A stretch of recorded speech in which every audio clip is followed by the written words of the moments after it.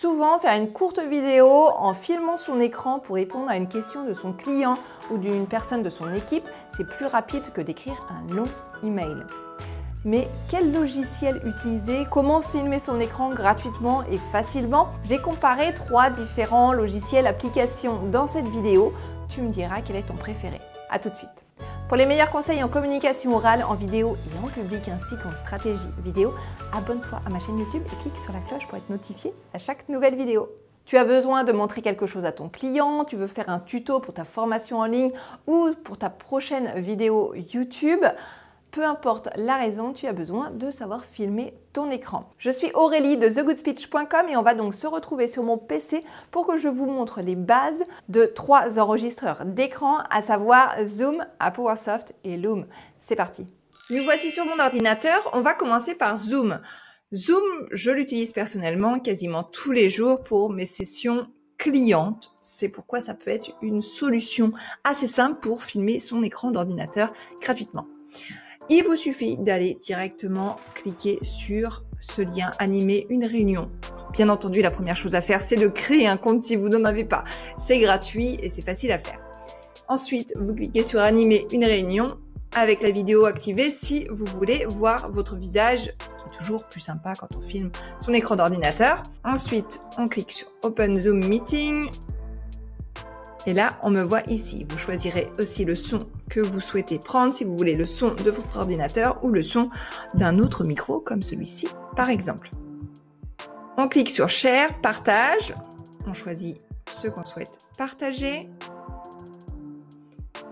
Et là, il ne me reste plus qu'à cliquer sur Record ou Enregistrer pour commencer l'enregistrement de votre écran. On me voit en haut à droite.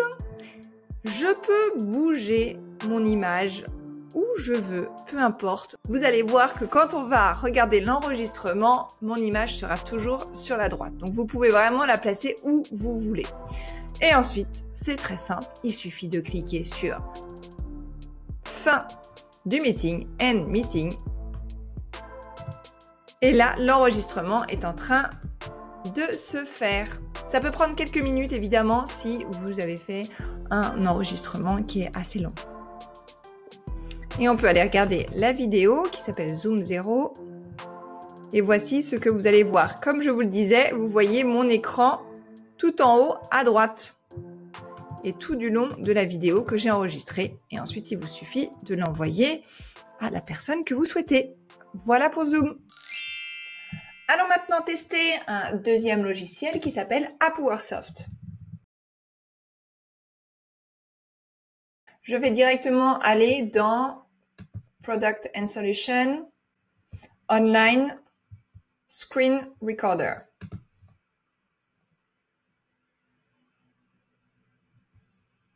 Il suffit simplement de cliquer sur Start Recording. Et là, il me dit qu'il faut d'abord le télécharger et l'installer avant de pouvoir commencer à enregistrer. Je vais donc downloader, télécharger le logiciel.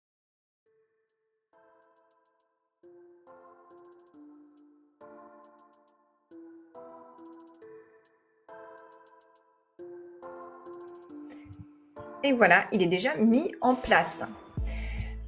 Il y a donc différentes possibilités. Ici, vous pouvez choisir seulement de filmer une partie de votre écran si vous le souhaitez. là, vous voyez, vous pouvez tirer dessus, c'est pas un problème. Vous pouvez vous amuser autant que vous voulez en fonction de la partie de l'écran que vous souhaitez, encore une fois, filmer. Ce qui n'était pas possible avec Zoom comme on l'a vu tout à l'heure. Vous pouvez même choisir une région, donc vous pouvez choisir de le mettre en 1920 par 1080, 1280 par 720, etc., etc. Ou vous pouvez même mettre une taille en particulier. Par exemple, si je veux 1920 par 1080, il m'a mis la taille de 1920 par 1080. Ou vous pouvez tout simplement faire plein écran. Ensuite, vous avez le micro et vous allez choisir le micro que vous souhaitez. Puis, vous avez la caméra si vous souhaitez la mettre en place.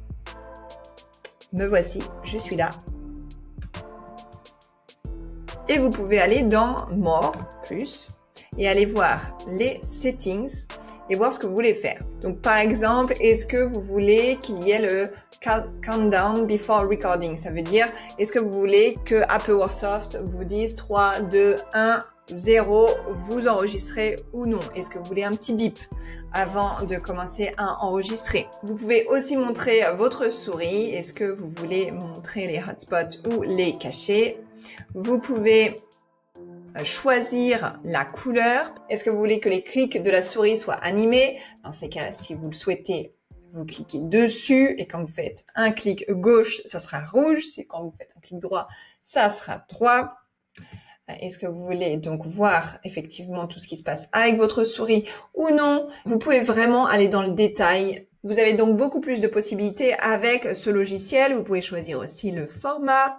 Est-ce que vous voulez un MB4 ou est-ce que vous préférez un Move par exemple ou un AVI Vous pouvez choisir ce que vous souhaitez. Si on va dans le général, vous pouvez choisir des raccourcis au niveau du clavier, donc Keyboard Shortcuts. Donc si vous cliquez par exemple sur CTRL ALT F1, arrêtez d'enregistrer ces CTRL ALT F2, etc., etc. Donc c'est plutôt pratique. Vous pouvez choisir si vous voulez utiliser le CTRL, le ALT, le SHIFT. Vous pouvez aussi euh, choisir le dossier où vos enregistrements vont apparaître. Si je commence maintenant à enregistrer, alors imaginons que je vais choisir une région.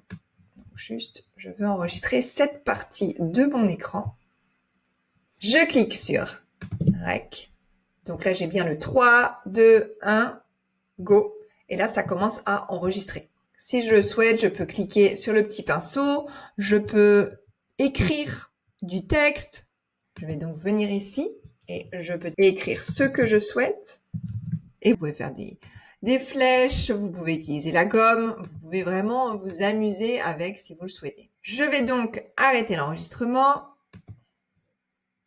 Je peux l'enregistrer directement en cliquant ici, Save as Video File. Donc on peut le mettre sur le cloud ou on peut tout simplement aller euh, l'avoir dans un fichier sur votre ordinateur il m'a donc ouvert le dossier où il a enregistré, donc dans Document à PowerSoft, à PowerSoft Online Screen Recorder. À PowerSoft a tout de même plus de possibilités que Zoom. Allons maintenant voir Loom. Allons découvrir maintenant Loom. Loom, c'est un plugin gratuit à installer sur Google Chrome. C'est franchement très simple, encore une fois, à installer. Alors de mon côté, évidemment, il est déjà installé, on voit déjà les vidéos que j'ai pu faire. Et il est en haut à droite, vous voyez, Loom. Mais pour vous, si ça n'est pas encore fait, allez sur loom.com et tout simplement faites installer le plugin et il va s'installer ici sur Google Chrome. Pour pouvoir enregistrer, il vous suffit de cliquer sur le lien.